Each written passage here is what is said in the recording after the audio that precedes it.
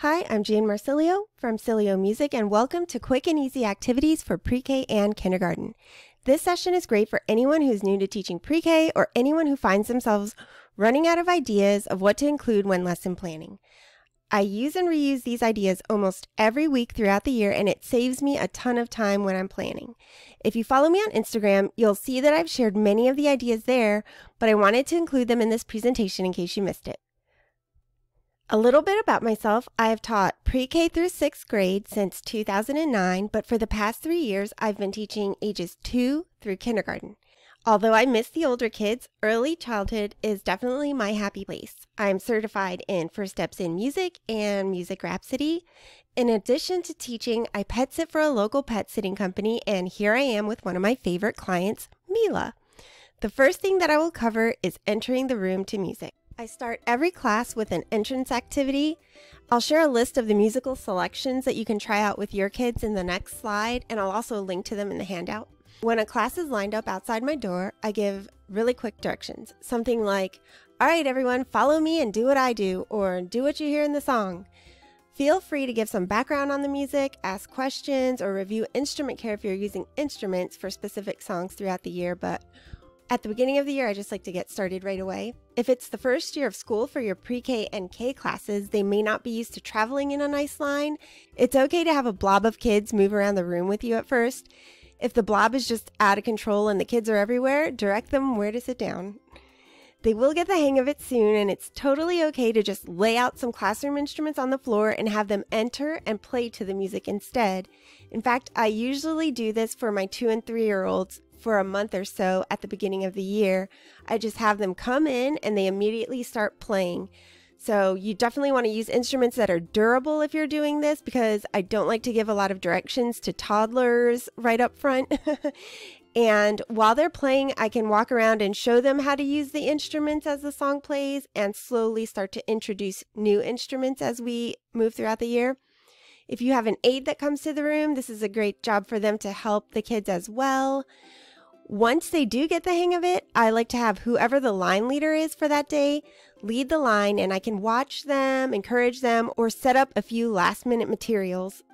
Usually the songs will give clues as to what motions we're going to perform, but you could also change the motions according to the form, the tempo, the dynamics, and so on. So after a month or two, I love having kids pick the motions. I'll go down the line of moving kids, and they will each have a turn choosing a movement choosing a movement that the rest of the line will imitate. I highly recommend knowing their names by this point, and as a side note, I record all of my students and their names on my phone on the first day of school, and I review them at home and right before they enter the classroom. Okay, when they begin to lose interest in this activity, just direct them to their seats. If a song's too short, you can repeat it as many times as you'd like. If it's too long, definitely just fade that music away and have them go sit down. If you're on a cart, you can still do this by playing the music on a Bluetooth speaker as you enter and have the kids stand up and follow you. Don't be afraid to use the same song for multiple weeks. It's neat to see them improving. All right, and here's that list. Most of the songs on this list are self explanatory, and I tried to only choose one song per artist, but a lot of these artists I use multiple songs from, like Ziggy Marley and the Laurie Berkner Band. Ziggy Says is one that I use at the very beginning of the year because the lyrics say things like Ziggy says stand up tall, Ziggy says bend down low, and as they move to the beat, they complete the motions.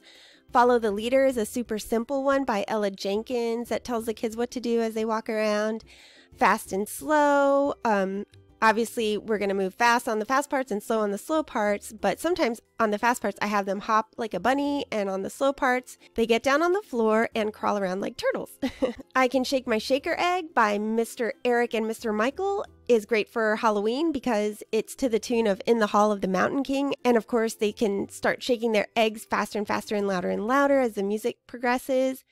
The wolf theme from Peter and the Wolf is a very short one, and I like to repeat this one. I have the kids creep around on all fours like a wolf, like a hungry wolf looking for food. Um, Turkey Stop is a great one for November. Jump Up by Ladybug Music. I also um, use a lot of Ladybug music in my class.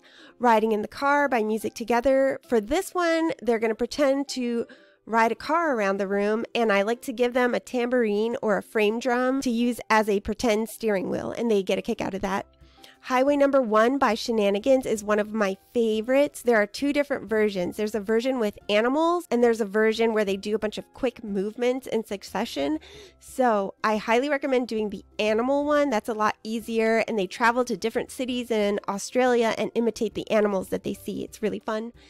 Um, that's also a really long one. So I usually only play half of the song, and in later weeks, I can use the second half of the song see how I'm jumping. That one's pretty self explanatory if you give it a listen.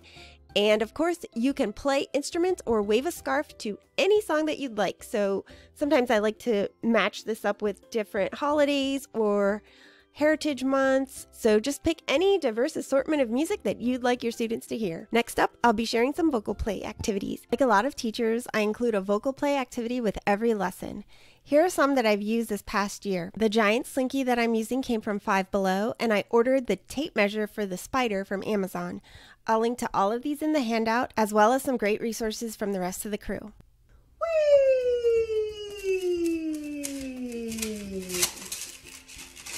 Also went up. Woo! And the kids were like, touch the ceiling, touch the ceiling, which you can easily do. Woo! And um, we did loud and quiet.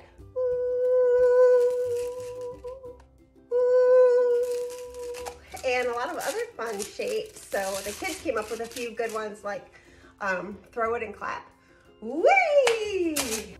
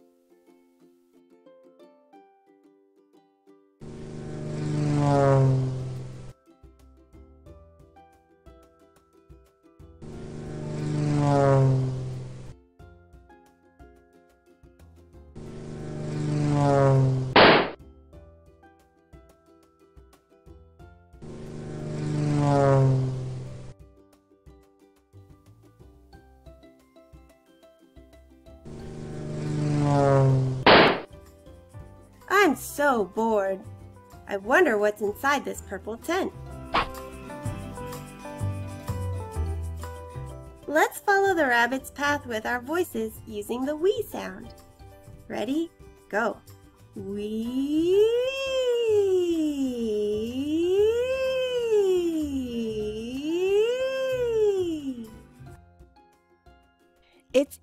To create rhythms and melodies with books that use repeating phrases.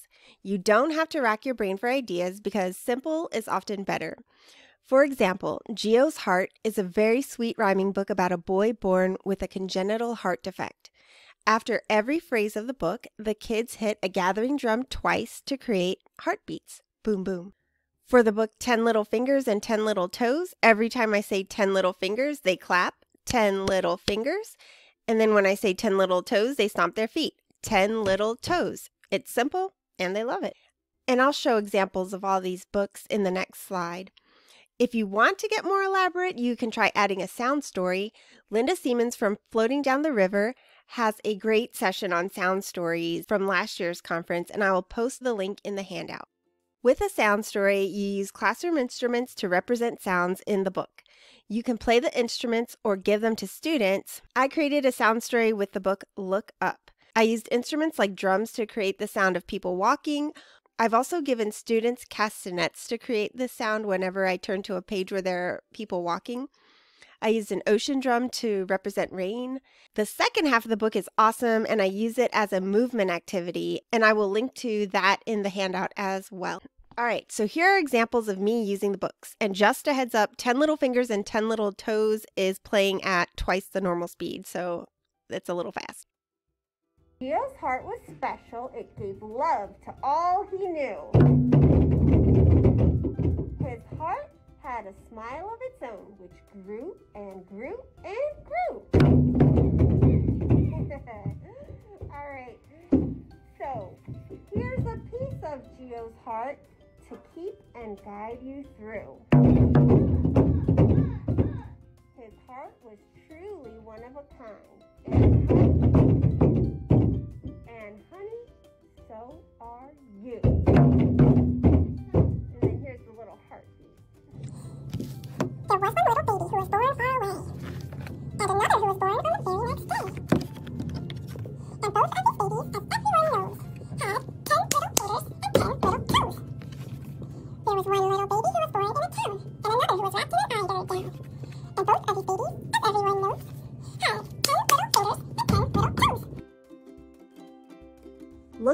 by Jung Jin Ho.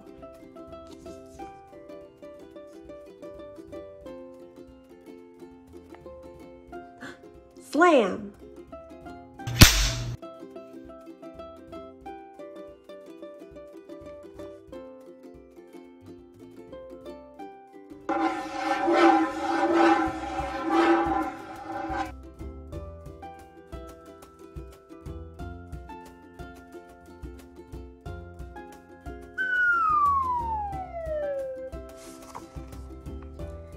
Look like ants.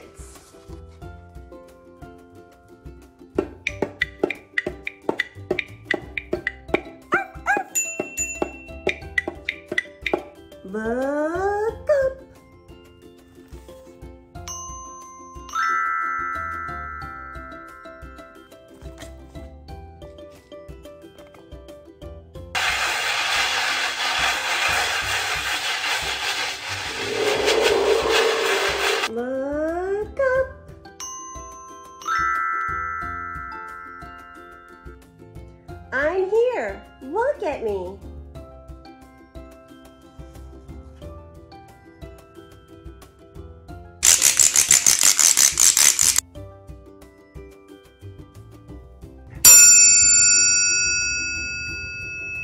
The second half I use as a movement activity.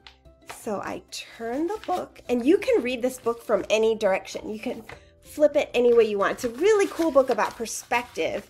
So um, then I have I go over the kids and I have them lay down like the little boy in the book, and I say, "Can you can you move your body like his?" And I'll walk by over them, and they'll look up while they're lying on the ground and try to match his body shape.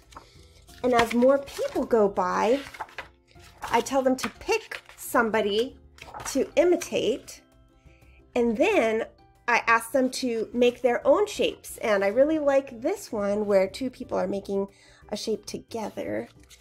Um, so yeah, this is a really cool book. I won't spoil the ending, but um, I love this one. And the kids love it too. And the great thing about that one is you can use it week after week. And the more you use the book, the more ideas you'll have for using the book. One of my favorite things to do with pre K and kindergarten is playing the ukulele. I first learned how to do this in Lynn Kleiner's Music Rhapsody course, where she was having literal babies play.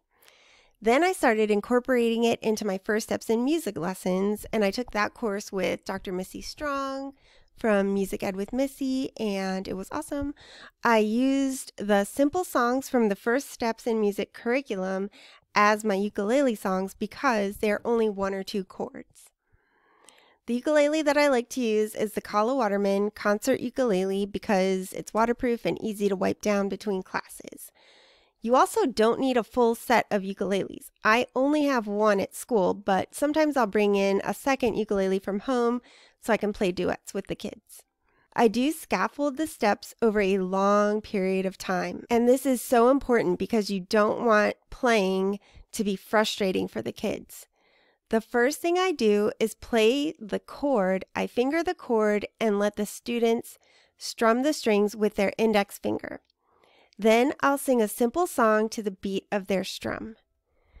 I just move the ukulele down the line from one kid to the next so that they all have an opportunity to play a solo, and that usually takes me about three minutes to do the whole class. Halfway through the year, I'll transition to having them hold it in their lap. I'll still finger the chords, but I'll let them strum with their thumb at this point. Then I'll start letting them hold the neck while they strum. I don't let them wrap their fingers around the neck yet, which usually isn't a problem because their fingers are small. But by the end of the year, I have them wrap their ring finger around the neck to finger the C chord. I put a little sticker on the A string spot where their finger should go, and most kids, especially kindergarten, are ready to strum and sing by themselves at this point. They've watched me play all year, and it feels natural and comfortable for them. After they've had their turn playing, they go line up at the door. I use the ukulele at the end of almost every lesson. One of their favorite songs is Ring Around the Rosie, and that's all in C major. And they don't line up after playing this one, only because, of course, they all fall down at the end. At the end of the song, I lift the ukulele up and the kids fall backwards onto their backs and wiggle around. They think it's hilarious. I also wanted to mention that Wikipedia states that this song is not based on the bubonic plague. Apparently, that is a myth. One final tip if you are using a song in C, you don't have to worry about pressing down on the A string for them to make the C chord. A lot of times the kids won't play the A string very hard because it's the furthest away from them, so they might not even reach it at all. It still pretty much sounds like the song is in C. Introducing the ukulele turned out to be a lot easier than I thought it would be, so give it a try. Next up, I'll talk about how I used ukuleles in a digital recital with my kindergarten students. I was so proud of my students for learning how to sing and play the ukulele, and since we didn't have concerts last year, I decided to create a digital recital. I wrote a blog post about how to do this, but getting started is pretty simple. First, you want to decide if you want to showcase your students' best work in a recital format or if you want to show their progress throughout the year by creating a long range portfolio. This year I did a recital, but next year I think I'm going to put together a digital portfolio for every student. Every quarter or so, we'll record something that we've been working on, and that way we can see how we started and ended the year in terms of music aptitude. Students can attend my school for four years, so I also thought that extending the portfolio over the course of years would make a great keepsake for students and their families. I was able to set up the Padlet at home and then when I opened the Padlet link on my phone, I was able to record each student individually. I also set up the Padlet to have every kid's names ready to go. That way, all I had to do was add the video to their name. I just recorded short 10 to 30 second videos of the kids performing. It was really low key and super low pressure. It didn't even take up the whole class period. I just thought it was a really easy way to put a little performance together. Padlet was easy to set up on my phone, but I've heard that Seesaw and Flipgrid are great as well. If you want to set up a classroom portfolio, you could use Edublogs as well, and parents could check out the website to see what's been going on in your room. I may transition to Seesaw or Flipgrid next year when I start creating year long portfolios. One major tip I would give is to slowly let students choose what they want to perform. First, start by having everyone do the same thing. Then, if they want to showcase a second activity, they can add a second video. Once they're used to having these recitals, get them thinking about it early and have them choose what they'd like to present. But at first, have everyone do the same thing, and then you can gradually add more student choice. The song we recorded was Happy Ukulele by Yuka Baby. I love this song because there are so many verses. You can choose one or a few. You can sing it as a duet or and response. It's very versatile. Here's a blurred image of what our Padlet looked like. Kids could just click on the video of themselves and play it for their families, and everyone got a real kick out of it. From the kids to the families, admin loved it, and so did their teachers. That is all from me. Thank you so much for watching. I hope this was helpful, especially if you are new to teaching pre K or kindergarten. I'll have clickable links to everything in the handout. There's also an early childhood section in the virtual exhibit hall with lots of vocal plays and activities from the rest of the crew. I hope you enjoy the rest of the conference.